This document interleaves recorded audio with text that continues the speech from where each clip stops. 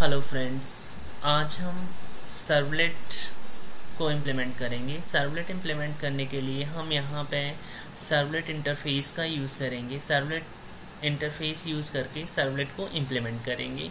इसके लिए हम यहाँ पे सिंपली क्या करेंगे? फ़ाइल के अंदर जाएँगे। फ़ाइल से हम न्यू में जाएँगे और न्यू से हम जाके डायनेमिक वेब प्रोजेक्ट क्रिएट कर लेंगे। और अपने प्रोजेक्ट का नाम जो भी हमें देना है सपोज़ दैट uh, मैंने अपने प्रोजेक्ट का नाम दे दिया फ़र्स्ट सर्वलेट डेमो इसके बाद हम यहाँ पे नेक्स्ट कर लेंगे। नेक्स्ट करने के बाद हमने यहाँ से नेक्स्ट कर लिया और हमने यहाँ पे टिक कर दिया generate web dot X M L deployment descriptor को एंड देन हमने यहाँ पे फिनिश कर लिया। फिनिश करने के बाद आप यहाँ प्रोजेक्ट एक्सप्लोरर के अंदर देखेंगे कि आपका यहाँ पे फ़र्स्ट सर्वर डेमो नाम का प्रोजेक्ट यहाँ डिस्प्ले हो जाएगा। इसके डिस्प्ले होने के बाद आप जावा रिसोर्स के अंदर जाएँगे और यहाँ पे आपको सोर्स फ़ाइल दिखेगा एस आर सी जिसपे आप राइट क्लिक करेंगे और राइट क्लिक करने के बाद न्यू में आएँगे और न्यू से आप यहाँ सिंपली सर्वलेट सेलेक्ट कर लेंगे। सर्वलेट पे क्लिक करने के बाद, अब यहाँ आप सर्वलेट क्लास का जो भी नाम देना चाहते हैं, मैं यहाँ पे सिंपली फ़र्स्ट सर्वलेट इस क्लास का नाम दे दे रहा हूँ। और जो सुपर क्लास है, इस सुपर क्लास को मैंने यहाँ से डिलीट कर दिया, क्योंकि हम यहाँ पे जो है सर्वलेट इंटरफेस यूज़ करने जा रहे हैं। इसलिए ऑटोमेटिक जो है हमारा सर्वलेट इंटरफेस ले लेता है। लेने के बाद अब हम यहाँ से नेक्स्ट कर लेंगे। नेक्स्ट करने के बाद आप यहाँ देखेंगे कि यहाँ पे नेम आ गया। नेम में हमारा फ़र्स्ट सर्वलेट आ गया। और यहाँ पे आपको एक चीज़ और दिखेगा U R L mapping U R L mapping में यहाँ स्लैश एंड फ़र्स्ट सर्वलेट हम यू आर एल मैपिंग को चेंज भी कर सकते हैं बट हम सिंपली यहाँ पे ऐसे ही छोड़ देते हैं, ताकि हम इसे इंडेक्स पेज या जहाँ से भी इसकी लिंकिंग करना चाहते हैं, इस यू आर एल मैपिंग को ही हम प्रोवाइड कराते हैं। अब इसके बाद हमने यहाँ से नेक्स्ट कर लिया और नेक्स्ट करने के बाद हमने यहाँ फिनिश कर लिया।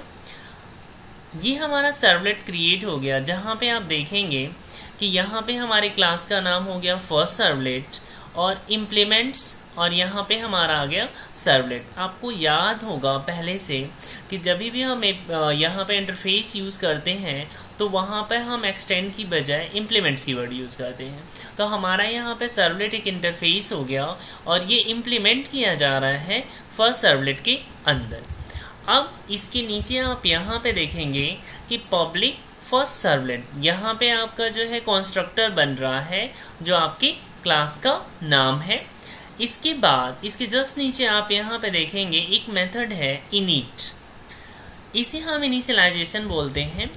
इनिशियलाइजेशन जब भी यहाँ पे हमारा सर्वलेट क्लास क्रिएट होता है तो जब फ़र्स्ट रिक्वेस्ट जाता है वेब कंटेनर के पास तो हमारा इनिट मेथड ओनली वंस एक बार ही हमारा जो है इनिशियलाइज किया जाता है। इसके बाद हमारा डिस्ट्रॉय मेथड होता है। जब भी, हमारा सर्वलेट बंद किया जाता है या क्लोज किया जाता है तो उस कंडीशन में हमारा डिस्ट्रॉय मेथड कॉल होता है। इसके बाद हमारे पास गेट सर्वलेट कन्फिग है, जो सर्वलेट कन्फिग ऑब्जेक्ट को रिटर्न करता है, और एक मेथड हमारे पास और है गेट सर्वलेट इन्फो नाम का, जो इस सर्वलेट के बारे में इंफॉर्मेशन को रिटर्न करता है, और जो हमारा सबसे मेन मेथड है यहाँ पे, वो हमारा सर्विस मेथड है। हम सर्विस मेथड के अंदर जितने भी हमारा रिक्वेस्ट जाता है, यानी वेब कंटेनर के बाद जितना भी रिक्वेस्ट जाता है, वो सारा का सारा हमारा सर्विस मेथड उठाता है सिंपली गेट करता है। और इसके अंदर अब हमने यहाँ पे सिंपल सा एक मैसेज टाइप कर दिया system dot out dot print L N और यहाँ डबल कोट के अंदर हमने यहाँ पे लिख दिया दिस इज़ सर्विस ब्लॉक इससे आपको क्लियर हो जाएगा कि जितनी बार आप सर्वर वेब कंटेनर के पास रिक्वेस्ट भेज रहे हैं तो ये हमारा जो सर्विस ब्लॉक है, वो बार बार एग्जीक्यूट होगा। अब एक वर्क हम यहाँ पे और करते हैं। हम इनिट ब्लॉक के अंदर आके, हमने यहाँ पे लिख दिया system dot out dot print ln और यहाँ पे मैंने लिख दिया this is init block okay हमने यहाँ पे इसे सेव कर लिया। सेव करने के बाद, अब हम सिंपली क्या करेंगे? वेब कंटेंट वाले पार्ट में आ जाएँगे वापस, यहाँ पे आएँगे और इस पर राइट क्लिक करके यहाँ से हम एक एच की फ़ाइल ऐड करेंगे, जिसका नाम हमने सिंपली दे दिया इंडेक्स डॉट एस जो हमारा स्टार्टअप पेज होगा। हमने यहाँ से फिनिश कर लिया। फिनिश करने के बाद, अब हमारा यहाँ पे एच का कोड जनरेट हो गया।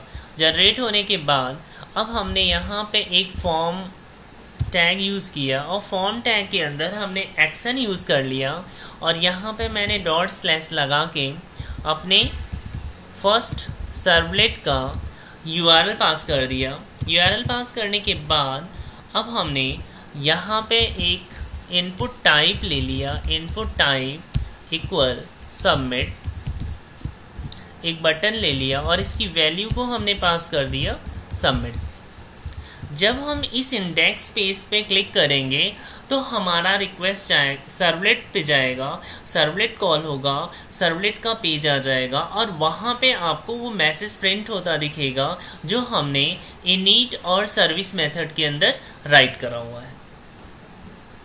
तो अब हम स्टार्ट करते हैं। सिंपली हम यहाँ प्रोजेक्ट को सेलेक्ट करते हैं, और सेलेक्ट करने के बाद इस पर राइट क्लिक करते हैं। राइट क्लिक करके हम यहाँ से रन एज करते हैं। रन ऑन सर्वर कर दिया। रन ऑन सर्वर करने के बाद हमने यहाँ पे नेक्स्ट कर लिया। नेक्स्ट करने के बाद हमने यहाँ पे जो है फिनिश कर दिया।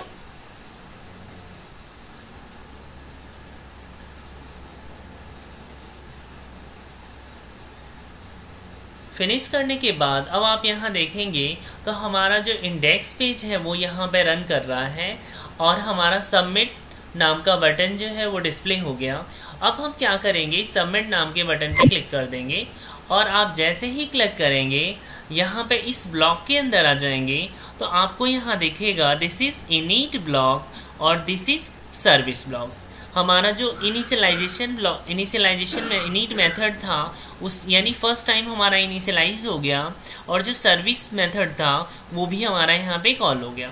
अब एक चीज़ और ध्यान दीजिए, मैं यहाँ से वापस बैक जाता हूँ और सबमिट पे क्लिक करता हूँ। अब ध्यान दीजिए, सिर्फ़ हमारा सर्विस ब्लॉक ही बार बार कॉल हो रहा है, न कि इनिट मेथड इससे ये पता चल जाता है हमें कि हमारा जो फ़र्स्ट रिक्वेस्ट यानी कि आपका जो इनिट मेथड होता है, वो वेब कंटेनर के द्वारा एक बार इनिशियलाइज किया जाता है, जबकि सर्विस मेथड हमारा बार बार कॉल किया जाता है। Thank you